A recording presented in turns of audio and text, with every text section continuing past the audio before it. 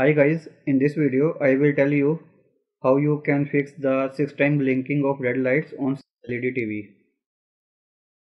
First of all, I will show you what is the problem with LED TV. As you see, I turned on the TV. Now the Sony logo appearing 3 times and after that the red light blinking 6 times.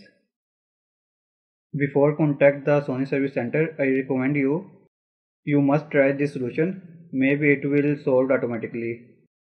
Solution number one is reset the tv by disconnecting the power cord from tv for 5 minutes then turn on the tv again. If the problem persists disconnect all the cables from tv for 12 hours. I hope it will solve your problem. On the other hand if the problem does not solve maybe there is an issue with any internal part of tv then you need to contact with technical person.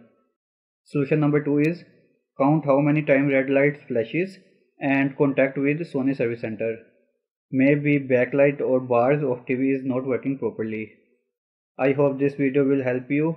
Don't forget to subscribe our channel. Thank you for watching. Have a wonderful day